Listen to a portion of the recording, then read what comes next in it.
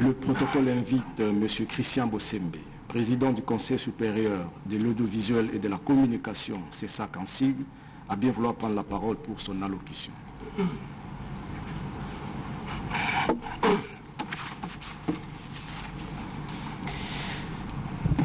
Excellence, Monsieur le Président de la République, chef de l'État, avec l'expression de nos hommages le plus déférents.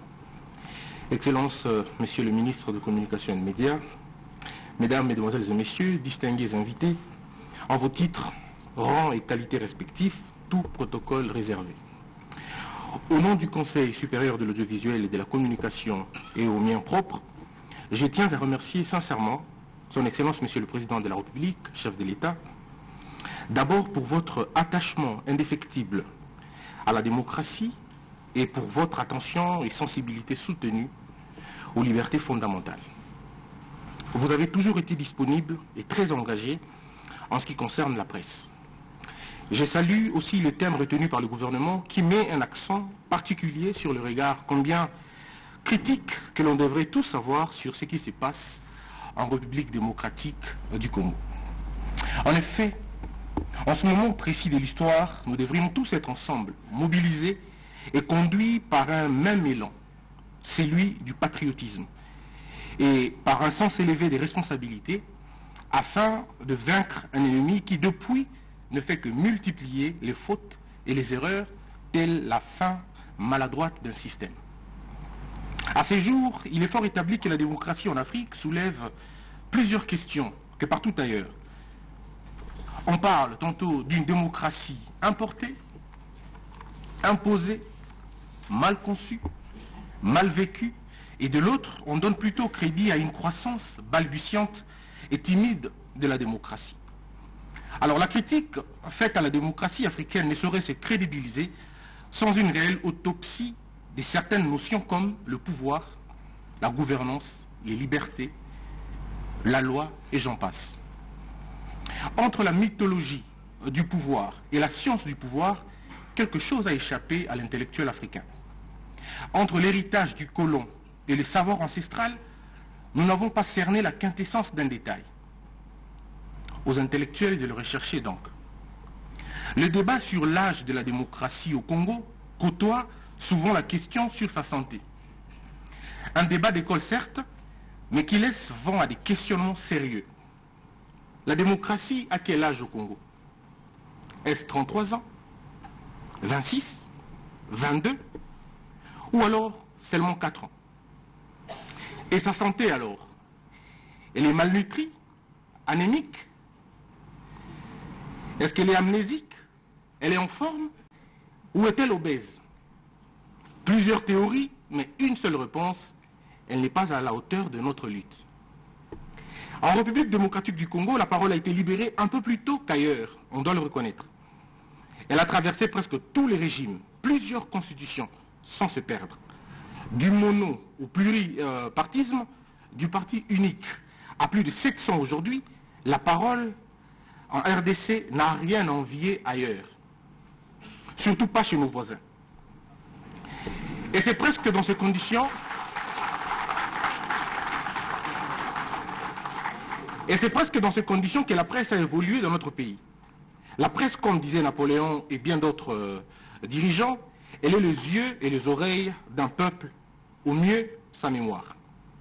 Elle a accompagné tous les systèmes politiques de l'histoire de notre pays, de la colonisation à l'indépendance, en passant par la dictature, à la libération, à la modernité, et aujourd'hui, à l'ère de l'alternance, la presse congolaise a connu et a vécu tout le temps.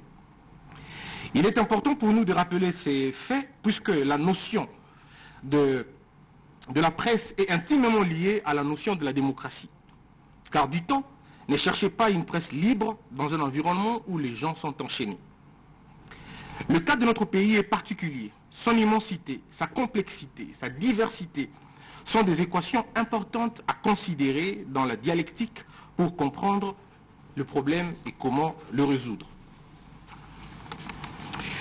Ce 3 mai ne devrait pas, non, ne devrait pas seulement nous rappeler combien de journalistes sont morts, micro et stylo en main, ou combien sont ceux qui sont en prison ou en détention, alors que la place du journaliste est dans sa rédaction. Mais cette journée devrait aussi rappeler aux professionnels des médias le sens du devoir, la responsabilité qui les incombe, celle d'informer sans diviser, de dénoncer sans diffamer, de critiquer sans offenser, de parler sans faire du mal. Le journaliste, en effet, n'intimide pas, n'harcèle pas, ne ment pas, ne calomnie pas, n'extorque pas et ne monnaie ni sa conscience ni sa liberté. Autant il est question que le pouvoir public ne muselle pas la presse, autant il faut nous battre pour que les poches ne musellent pas la presse.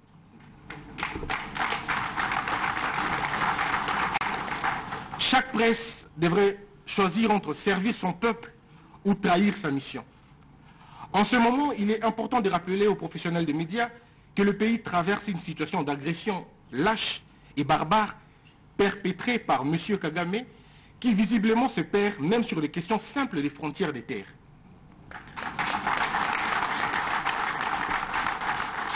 C'est ici que les journalistes congolais devraient marquer leur patriotisme en réservant des pages et des heures d'antenne à l'histoire de nos terres, à notre culture d'unité, à notre lien indéfectible à nos terres. Puisque relayer le propos propagandiste du Rwanda par sa branche lm 23 s'attaquer aux forces armées, insulter les institutions de la République sont contre-productifs et contribuent à nous fragiliser. Ensemble, nous devons tous défendre l'intérêt supérieur de la nation. Autant le militaire protège l'intégrité du, du, territoire, le policier sécurise les personnes et leurs biens, le journaliste devrait cultiver la culture de l'histoire, de la souveraineté, de la connaissance dans la mémoire des citoyens. Chers journalistes, votre rôle est grand et historique. Nous devons garder à l'esprit notre fierté, à ne pas céder à l'idée d'envier les autres. Il faut rappeler que l'espace démocratique en RDC n'a rien à envier au Rwanda, à l'Ouganda, en Angola et au Burundi.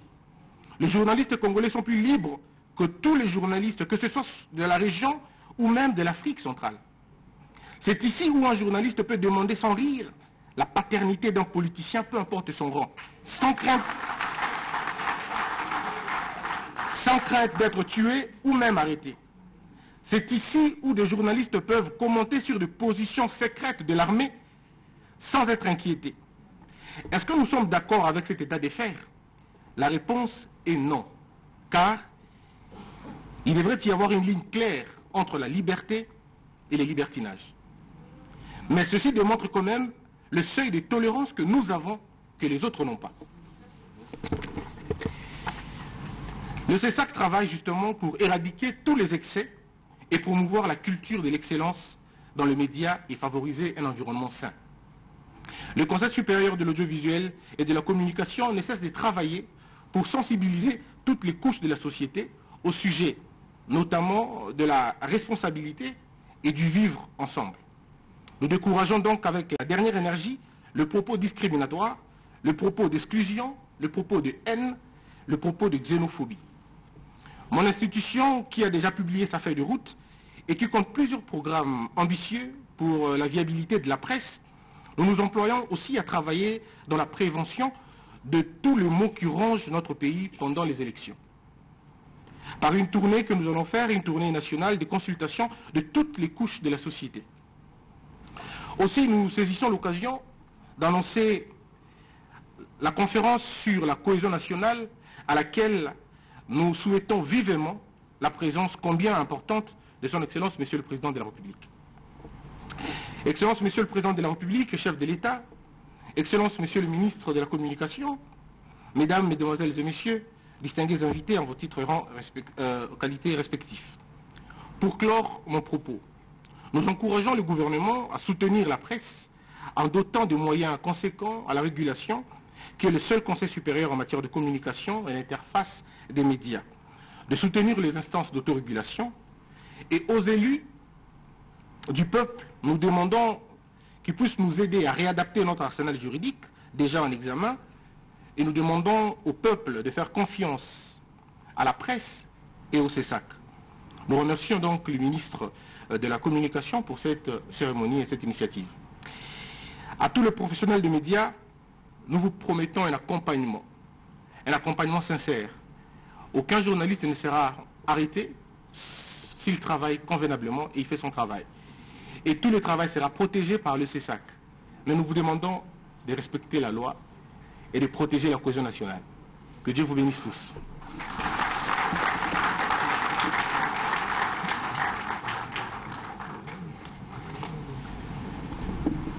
Le protocole invite son Excellence. Pour euh, cet grand événement de Astrid au Congo, c'est avec elle euh, ce matin que nous allons commencer euh, une très très très belle journée.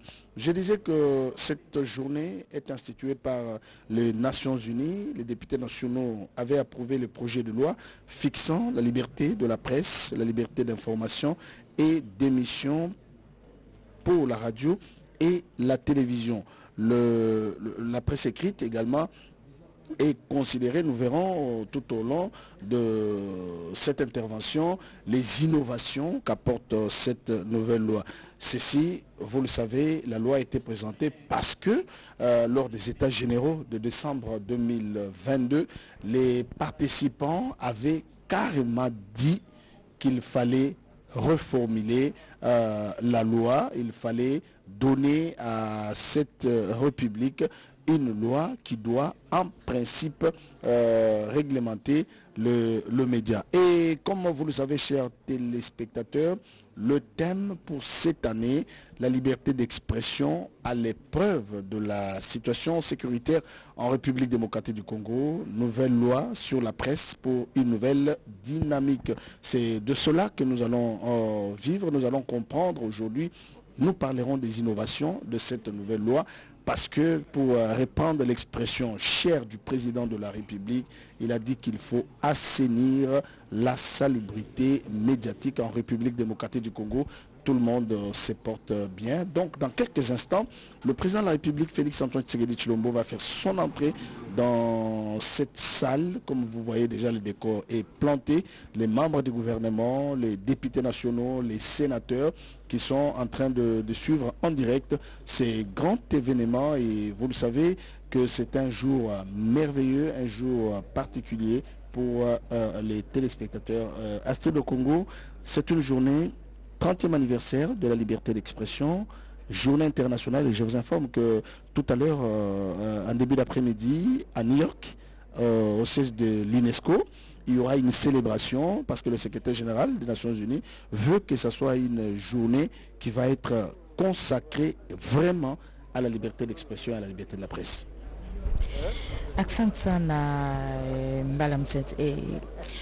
Kwa kuona kwamba tarehe Mai ulimwengu mzima unasherekea sikukuu ya uhuru wa masemi, kwani kutokana na gisi ya kupasha habari inafaa mtu akuwe huru katika masemi yake.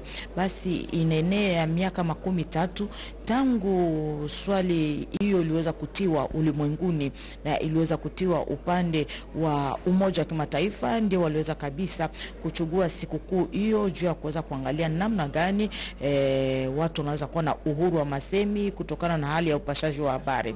Na siku hiyo iliweza kuongozwa inaongozwa na waziri usikae na mambo ya uandishi pia upashaji wa habari, na rais wa jamhuri ataweza kuwa kitako punde kidogo ataweza kuingizana katika chumba hiyo ya mikusanyo mahali ambako eh, kutaweza kusherekewa sikukuu hiyo ya leo. Ni ku hotel Congo Fleuve Hotel wanaita leo Kempeskin, ndiye mahali ambako tunapatikana pamoja na uh, Mbala Musense kwa kuweza kuwajulisha kabisa nini Ndaye Musense Ndaye Chisense kwa kuweza kuwajulisha nini itaweza kupitikana eh, siku ya leo kutokana na sikukuu hiyo, kwa kuona kwamba ni siku muhimu kabisa kwa ajili ya waandishi pia wapashaji wa habari, kutokana na hali ya uhuru wa masemi, kwa kuona kwamba wakati mtu anasema neno fulani e, zamani walikuwa akiingia nguvuni, lakini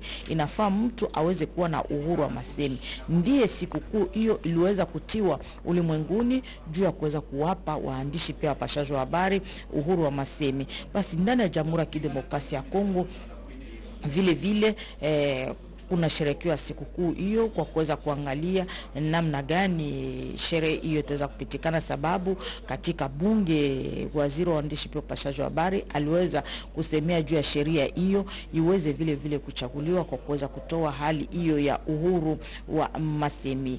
Basi inaomba vile vile kuliweza kuongozwa kunako mwaka elfu mbili ishirini na mbili ku mwezi wa Januari kuliweza kuongozwa hali ya mikusa, mkusanyo ya maeta generaux ya uandishi pia upashaji wa habari. Kuliweza kutoke, waliweza kutoa yapata mapendekezo makumi munane yenye iliweza kutolewa kutokana tu na hali ya mabadiriko ya sheria yenye ilikuwa zamani ya uandishi pia upashaji wa habari tokea mwaka 1996 kuliweza kuwa sheria yenye kuhusika na hali hiyo, lakini kuliweza kuwa hali ya mabadiliko kidogo. Basi kutokana na hali hiyo Eh, gisi maita genero iliweza kufanyika kumwaka 2022 mapendekezo yapata makomi munane yenye iliweza kutolewa, basi ni sherti waweze kuangalia namna gani ya kuweza kutengeneza hali hiyo ya uandishi pia upashaji wa habari. Tunaona hapo kuna wa, wa, wa, viongozi mbalimbali wateule, eh, memba wa serikali, kuna vile vile viongozi wa vyumba mbalimbali ya uandishi pia upashaji wa habari, kwa kuona kwamba rais wa jamhuri alisema kwamba inafaa kuangalia namna gani ya kutengeneza kusawanisha, sababu kuna leo kunakuwa vyumba vingi zaidi ya uandishi pia upashaji wa habari, kuna ya uongo pia ya ukweli. Basi inafaa kuweza kuangalia namna gani ya kutengeneza kutia usawa sawa gisi bwana Robert Ndai aliweza kusema kwamba rais alisema inafaa kutengeneza hali ya waandishi pia upashaji wa habari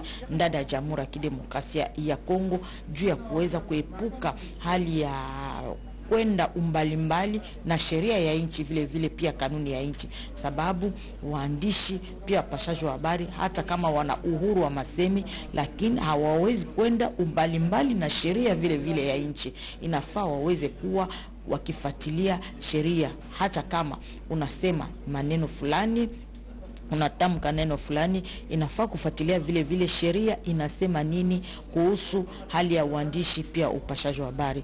Eh, Robert Ndai. Merci Astrid euh, au Congo pour euh, cette euh, intervention. Je rappelle que le thème en République démocratique du Congo, la liberté d'expression à l'épreuve de la situation sécuritaire en République démocratique du Congo, nouvelle loi sur la presse pour une nouvelle dynamique. C'est ce que propose le ministre de la Communication pour cette célébration. Vous le savez, nos confrères et consoeurs qui sont euh, dans la partie est occupée par les terroristes du M23 n'arrivent pas à faire exactement leur travail à cause de l'imposition de terroristes euh, qui ont occupé certaines parties de notre pays. Vous le savez, euh, l'application de la République devrait entraîner la mise en œuvre. Le président de la République vient de faire son entrée ici, ici dans la salle euh, du fleuve Congo. Ça sera donc le début de cette euh, grande cérémonie. Je le disais que l'application de la nouvelle loi devrait entraîner la mise en œuvre de la majorité des résolutions des États généraux de la communication. Vous le savez, lors des États généraux, il y a eu 80 propositions faites pour assainir le milieu euh, de la presse. Aujourd'hui, tout le monde s'appelle journaliste. Il suffit d'avoir un téléphone, d'avoir les médias pour faire ceci. Donc c'est l'hymne national qui va donc euh, commencer. Le fait que le président...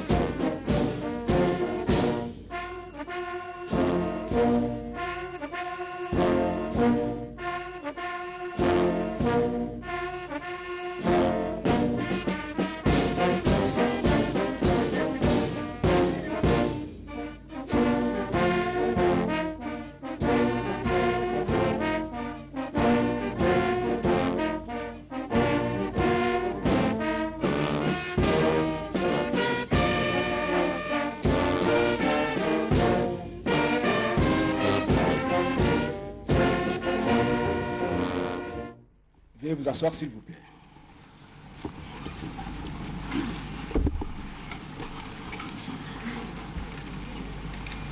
Excellence, Monsieur le Président de la République démocratique du Congo, chef de l'État, avec l'expression de nos hommages les plus déférents.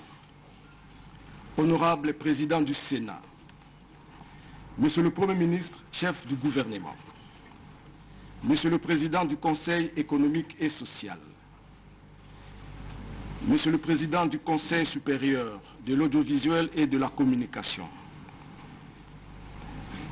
Messieurs les présidents des institutions d'appui à la démocratie, honorables députés et sénateurs, Mesdames et Messieurs les membres du gouvernement, Excellences, Mesdames et Messieurs les ambassadeurs et chefs des missions diplomatiques, Monsieur le secrétaire général du ministère de la Communication et Médias, Monsieur le gouverneur de la ville-province de Kinshasa, Madame et Messieurs le gouverneur des provinces invités, Mesdames et Messieurs les directeurs généraux des groupes de presse, Mesdames et Messieurs distingués invités, depuis 1993, l'Assemblée générale des Nations unies a proclamé le 3 mai de chaque année Journée mondiale de la liberté de la presse.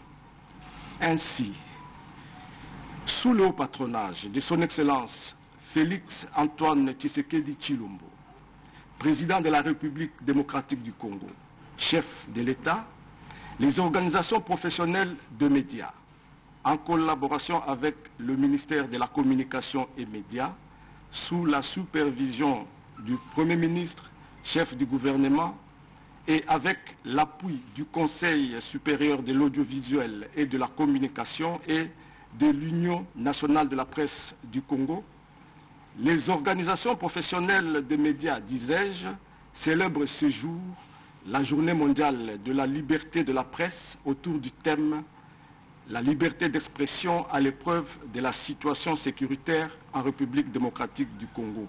Nouvelle loi sur la presse pour une nouvelle dynamique. La célébration de cette journée connaîtra deux phases.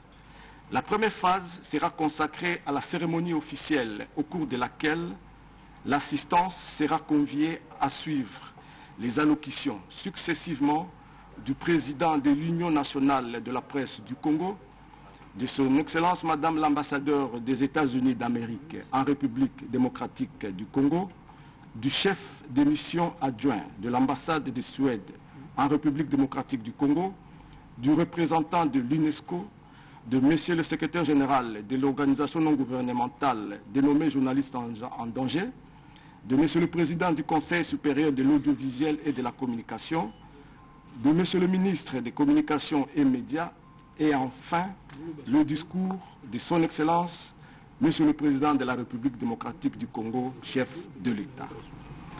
La deuxième phase sera dédiée à un panel d'échange constitué de Monsieur le ministre des Communications et Médias, du président de l'instance de régulation, à savoir le Conseil supérieur de l'audiovisuel et de la communication, des responsables des organisations professionnelles ainsi que des experts professionnels de médias.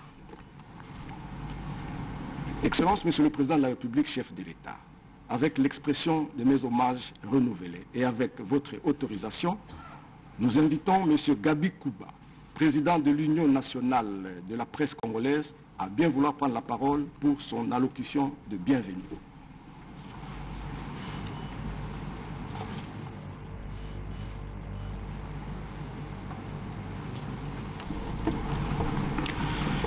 Excellences, Messieurs les Présidents de la République, chef de l'État, Mesdames et Messieurs, nous célébrons ces 3 mai le 30e anniversaire de la Journée mondiale de la liberté de la presse sous les thèmes Façonner un avenir des droits, la liberté d'expression comme moteur de tous les droits de l'homme.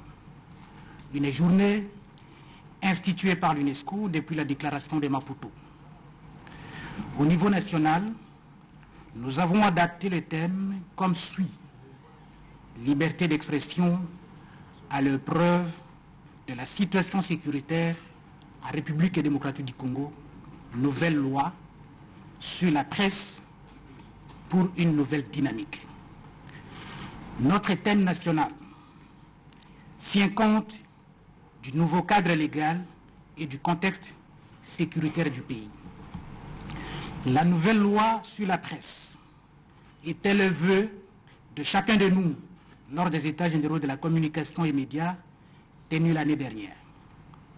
Nous étions tous unanimes pour la modification de la loi de 1996 dont plusieurs dispositions étaient devenues désuètes au regard de l'évolution de notre société et des innovations technologiques.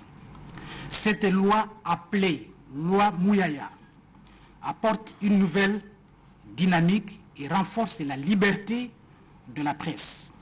Elle consacre un chapitre sur les médias en ligne, aborde le statut des médias communautaires et associatifs et accorde une place de choix à la viabilité économique des médias. À défaut d'obtenir la dépénalisation totale des délits de presse, nous avons tout de même obtenu une dépénalisation partielle en attendant la salubrité médiatique prônée par le président de la République, chef de l'État, son Excellence Félix-Antoine Tshisekedi Chilombo. Je tiens donc à féliciter tous ceux qui ont contribué pour cette loi. Excellence, Monsieur le Président de la République, mais nous ne sommes pas encore arrivés au bout du tunnel. Malgré la promulgation de la nouvelle loi sur la presse, la dépénalisation partielle est un piège qui nous est tendu par l'État, car nous ne serons pas toujours à l'abri de certains ennuis. La prudence s'impose de notre part. Nous devons donc être plus responsables dans l'exercice du métier en respectant notre code d'éthique et de déontologie ainsi que les lois de la République. La liberté et la responsabilité forment un couple indissociable. C'est pourquoi la salubrité médiatique est un vaste chantier sur lequel nous devons déployer beaucoup d'énergie. Et les pouvoirs publics doivent prêcher par l'exemple. Car ce sont eux qui cautionnent souvent des mauvais comportements des journalistes égarés. Alors, ils ont adopté, adulé et légitimé ce qui crée des problèmes au sein de la corporation. Nous rappelons au gouvernement son engagement de financer les congrès extraordinaires de l'Union nationale de la presse du Congo. L'UNPC a déjà donné les go avec la réunion de son comité directeur financé par Internews l'année dernière à l'issue des États généraux de la communication et médias. Ces congrès visent des réformes de l'assainissement de la corporation des professionnels des médias dépend aussi la réussite du gouvernement dans les secteurs. En outre, pour une bonne appropriation de la loi Mouyaya, il faut la vulgarisation. C'est ainsi que nous demandons à l'État de nous transmettre la version définitive de la loi publiée dans les journaux officiels afin d'éviter toute spéculation. Aussi, l'Union sollicite-t-elle l'appui du ministère de la Communication et d'autres partenaires pour la vulgarisation de la loi. Excellence, Monsieur le Président de la République, la RDC fait face à des guerres à répétition depuis plus de 25 ans. Cette situation n'est guère reluisante pour la liberté de la presse. C'est ici l'occasion pour l'Union d'exprimer son soutien à tous ses membres ayant abandonné leur rédaction à cause de l'agression orchestrée le M23. Nous avons une pensée pieuse pour ceux qui sont morts dans l'exercice de la profession et dont leur seul péché n'a consisté qu'à donner l'information au public. Les ennemis de la République les ont considérés comme des témoins gênants, d'où les assassinats et les mauvais traitements infligés aux journalistes. Le déplacement massif des journalistes des territoires occupés par les Rwandais et l'interruption des émissions de la radio Congo sont des illustrations de la cruauté vis-à-vis de notre presse. La tragédie au Kivu impacte massivement notre presse. Et tout cela sous le regard complice, passif et complaisant du monde entier. Entre-temps, les observateurs et autres spécialistes du Congo attendent rapports et les décomptes pour classer la RDC dans telle ou telle situation. Chers confrères journalistes, il n'y a pas d'incompatibilité entre la défense de la patrie et l'exercice du métier. La liberté a des limites. La RDC traverse une période difficile. Notre presse est impérativement appelée à se désolidariser et à quitter des cercles complotistes. Il faut qu'elle refuse catégoriquement de relayer des infox et autres campagnes de diabolisation sur la situation sécuritaire du pays. La presse nationale, comme étrangère, doit cesser de manipuler l'opinion et les esprits pour ne pas faire le jeu de l'ennemi. Convertissez-vous et retirez vos micros, vos caméras et vos plumes de la conspiration contre la République. 2020.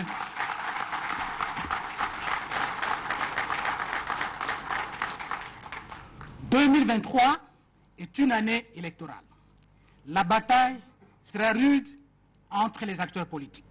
Ces derniers se servent toujours des médias et surtout qui les contrôlent. Aux journalistes de faire le choix entre le mercenariat politique et l'information.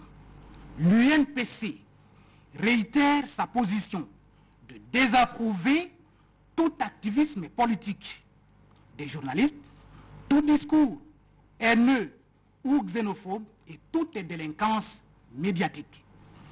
Les nouveaux variants du journalisme congolais, sous couvert du journaliste d'opinion ou d'analyste politique, actuellement en vogue, est invité à revisiter son mode opératoire.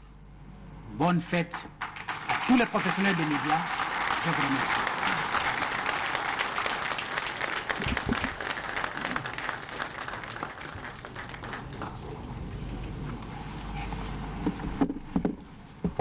Le protocole invite M. Tivis Tivouadi, secrétaire général de l'organisation non gouvernementale Journalistes en danger, à bien vouloir prendre la parole pour présenter la situation de la liberté de la presse en République démocratique du Congo.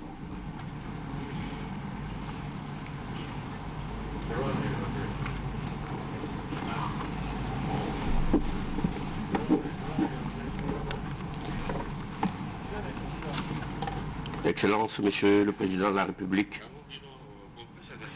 après le 3 mai 2019, à l'hôtel Béatrice, quelques mois seulement après votre arrivée au pouvoir, après les états généraux de la presse qui se sont tenus il y a un peu plus d'une année, sous votre haut patronage, vous voici une fois de plus parmi nous, à l'occasion de la célébration de cette journée mondiale dédiée à la presse, à la liberté de la presse.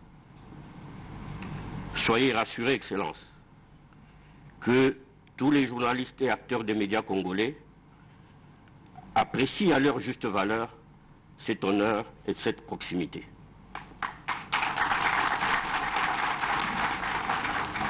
Cette journée intervient dans un contexte bien particulier, marqué par euh, la crise sécuritaire qui persiste notamment à l'est du pays, mais aussi alors que pointe à l'horizon 2023 la fin de votre quinquennat, le quinquennat de tous les espoirs et pourquoi pas de toutes les promesses. Comment dès lors parler de cette liberté de la presse sans être tenté de dresser le bilan, le bilan de votre gouvernement sur l'exercice de cette liberté, notamment au regard de votre engagement de promouvoir la presse et les médias pour en faire véritablement un quatrième pouvoir. Un exercice difficile, peut-être un peu risqué en ce moment de grande sensibilité politique. Et pourtant, ce ne sont pas les réalisations qui manquent à l'actif de votre mandat. Et je voudrais en donner à titre illustratif deux exemples dans le secteur des médias. En effet, il y a quatre ans, la RDC occupait la 154e place au classement mondial de la liberté de la presse des Reporters sans frontières, qui est une organisation connue et reconnue mondialement pour, pour sa rigueur et son sérieux. Ensuite, nous sommes passés à la 150e place en 2020 et à la 125e place en 2021. Aujourd'hui, au dernier classement qui vient d'être publié il y a quelques heures, la RDC vient de gagner encore une place et se positionne à la 124e place sur 180 pays du monde.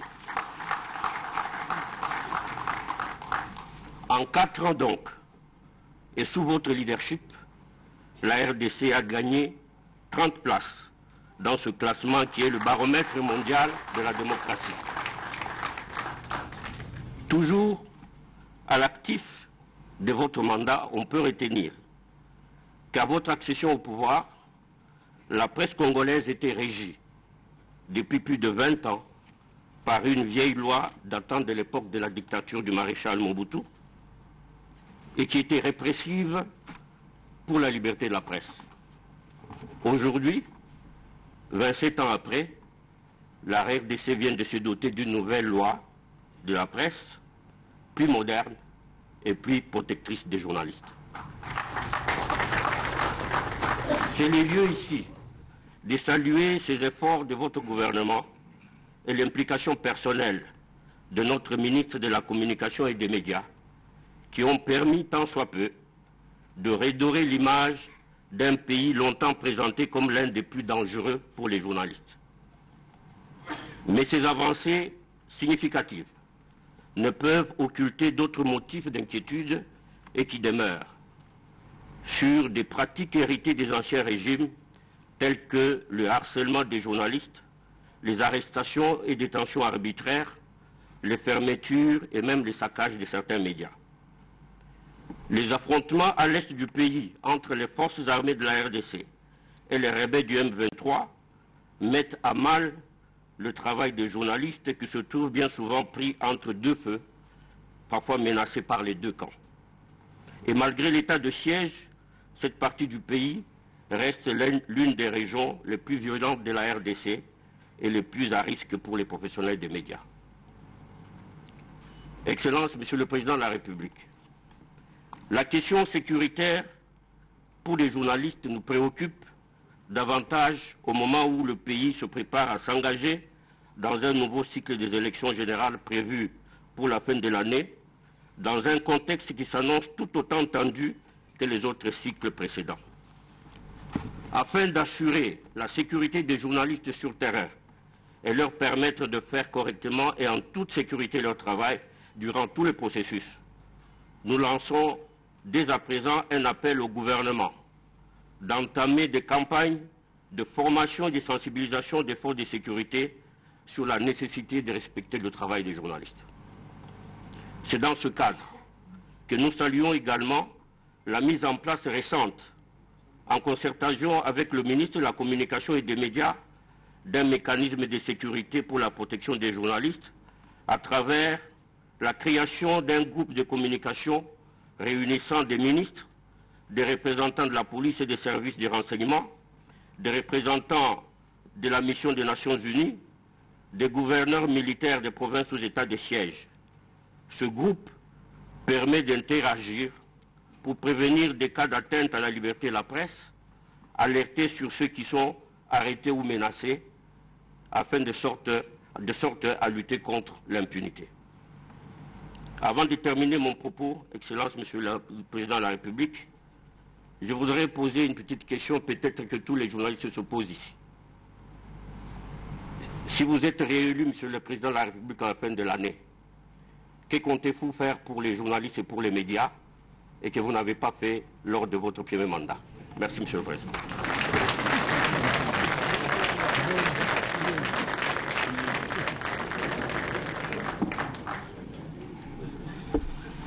Le protocole invite Dr Isias Barreto da Rosa, représentant de l'UNESCO, à bien vouloir prendre la parole pour la lecture du message de Madame la Directrice Générale de l'UNESCO.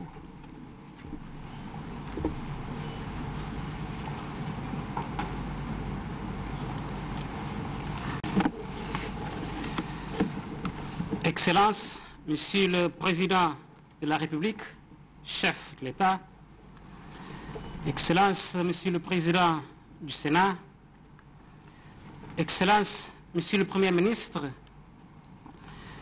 Monsieur le Président du Conseil économique et social, Mesdames et Messieurs les membres du gouvernement, Mesdames et Messieurs les ambassadeurs et chefs de mission diplomatique, Monsieur le Président du Conseil supérieur de l'audiovisuel et de la communication, Mesdames et Messieurs les administrateurs et directeurs généraux des entreprises de presse, Mesdames et Messieurs les journalistes, distingués invités en vos titres et qualités respectifs, Mesdames et Messieurs, qu'il me soit permis, avant toute chose, au nom de la directrice générale de l'UNESCO, Madame Audrey Azoulay, de saluer très vivement la présence en celui de son Excellence, Monsieur le Président de la République, Félix Antoine Tshisekedi Chilombo,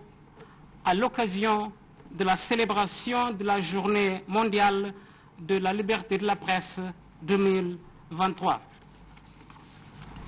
Votre présence, Excellence, à cette édition de la Journée mondiale de la liberté de la presse témoigne de l'intérêt que vous ne cessez d'accorder à l'évolution des médias et des journalistes. L'UNESCO vous en est très reconnaissant.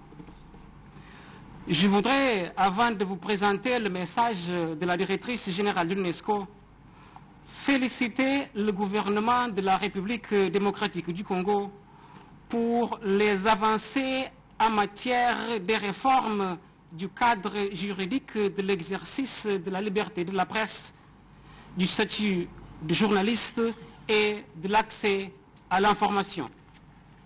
Je voudrais également saluer la continuation par le ministère de la Communication et des Médias du programme des réformes adopté au cours des États généraux de la presse tenus en 2022 et qui traduisent la vision de son Excellence, Monsieur le Président de la République, d'une nouvelle ère et d'une nouvelle dynamique. Avec votre permission, je vais procéder à la lecture de, du message de Madame la directrice générale de l'UNESCO, Madame Audrey Azoulay. La liberté de la presse est la pierre angulaire des sociétés démocratiques et sans débat d'idées, sans fait vérifié, sans diversité de perspectives, la démocratie n'est que l'ombre d'elle-même. Et c'est pour le rappeler que cette journée a été adoptée. Pour la communauté internationale, il s'agit d'abord de lutter contre l'impunité qui entoure encore les crimes dont les journalistes sont victimes, avec près de neuf assassinats de journalistes sur dix qui demeurent impunis. C'est notamment l'enjeu du plan d'action des Nations Unies pour la sécurité des journalistes et la question de l'impunité que l'UNESCO mène depuis Il s'agit aussi de faire en sorte que les médias indépendants puissent continuer à exister avec la révolution du numérique, le paysage de l'information, ces modèles de production et de diffusion ont en effet été radicalement bouleversés, mettant en péril la viabilité des médias professionnels indépendants. Pour faire en sorte que l'information demeure un bien commun à l'ère du numérique, nos États membres se sont engagés avec la déclaration Windhoek plus 30 de 2021 à soutenir le journalisme indépendant, assurer une plus grande transparence des plateformes en ligne ou encore développer l'éducation aux médias et à l'information. Nous ne pourrons le faire sans les acteurs que conditionnent aujourd'hui largement l'accès à l'information, les plateformes numériques. C'est pourquoi l'UNESCO a organisé en février la conférence pour un Internet de confiance qui a constitué une étape essentielle en vue de l'élaboration de principes de régulation des plateformes numériques. L'enjeu est fondamental car il s'agit à la fois de protéger la liberté d'expression et de lutter contre la désinformation et le discours de haine. 30 ans après la première journée mondiale de, la liberté de la presse, nous mesurons ainsi autant le chemin parcouru que ce qu'il reste à faire. Que cette journée soit donc l'occasion de renouveler notre engagement au sein des organisations internationales à défendre les journalistes et à travers eux la liberté de la presse. Je vous remercie.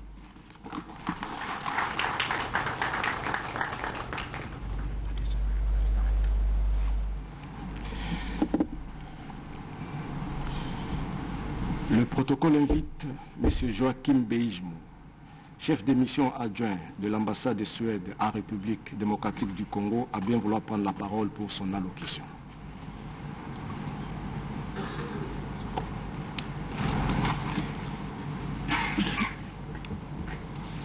Excellence, euh, Monsieur le Président de la République, Excellences, Mesdames et Messieurs les sénateurs et députés, euh, Excellences, Mesdames et Messieurs les membres du gouvernement, euh, Mesdames et Messieurs les ambassadeurs et les représentants des Nations Unies, Mesdames et Messieurs les journalistes, représentants des médias, Monsieur le directeur de l'Internews, distingués invités à vos titres et qualités respectifs, une beauté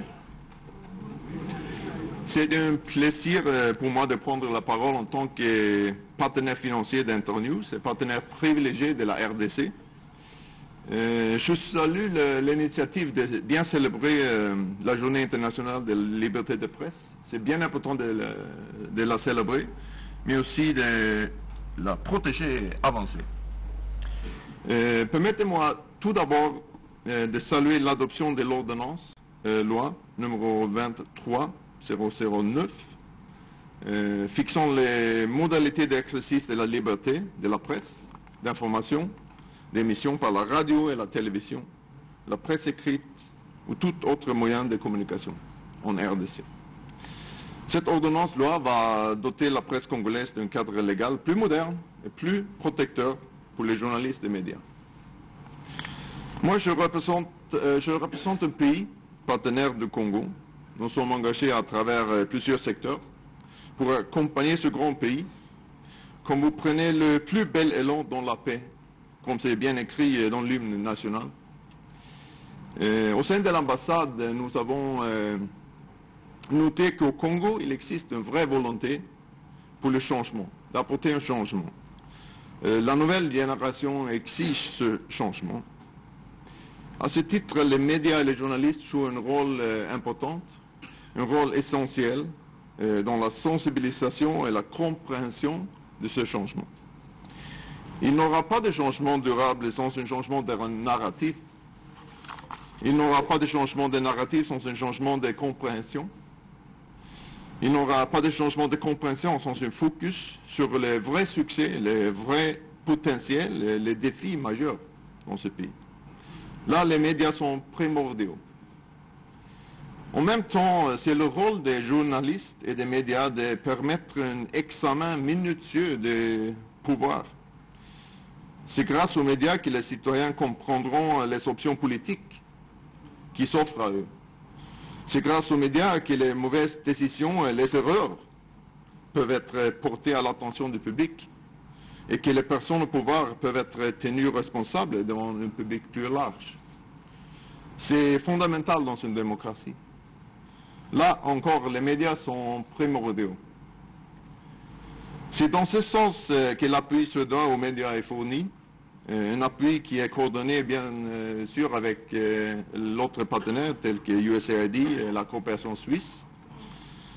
le premier objectif, c'est bien sûr de contribuer au développement des médias avec une amélioration de la qualité des produits et bien accessible pour les populations. le second objectif est de contribuer à la formation des jeunes journalistes et des journalistes femmes, euh, leur permettre euh, de mieux faire entendre leur voix dans le débat public. Un troisième objectif est de contribuer à la mise en place d'un cadre juridique garantissant le libre accès à l'information, la liberté et la pérennité des médias et la sécurité des journalistes. Aujourd'hui, nous célébrons la liberté de la presse. C'est une liberté qui doit être protégée partout. Cette liberté existe euh, en théorie en RDC et sera renforcée par la nouvelle loi, mais elle n'est pas toujours possible à mettre en œuvre dans la réalité. Les journalistes qui l'utilisent euh, sont menacés, attaqués, arrêtés, détenus, harcelés et même tués de temps en temps.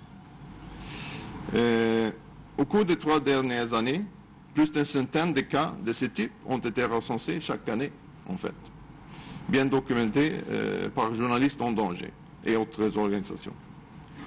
Avec euh, l'adoption de la nouvelle loi, la liberté sera renforcée. Euh, pour qu'il soit utile dans la pratique, nous devons aussi continuer de travailler avec d'autres mesures. ce travail ne s'arrête jamais.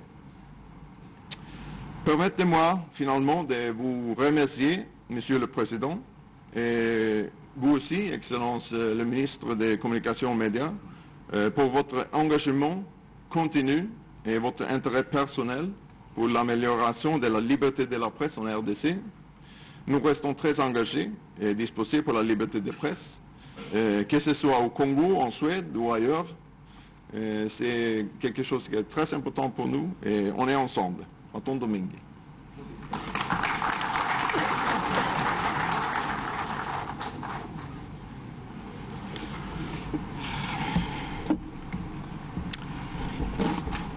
Le protocole invite Son Excellence Madame Lucie Temlin, ambassadeur des États-Unis d'Amérique en République démocratique du Congo, à bien vouloir prendre la parole pour son allocution.